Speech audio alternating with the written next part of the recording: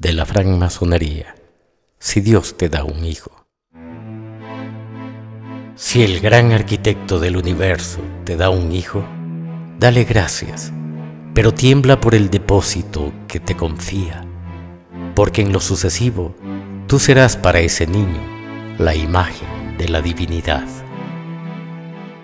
Haz que hasta los 10 años te tema, hasta los 20 te ame y hasta la muerte te respete.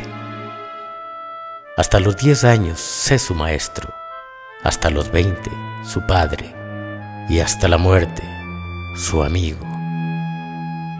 Enséñale ante todo buenos principios antes que bellas maneras, que te deba una doctrina esclarecida mejor que una frívola elegancia, que sea mejor un hombre honrado que un hombre hábil.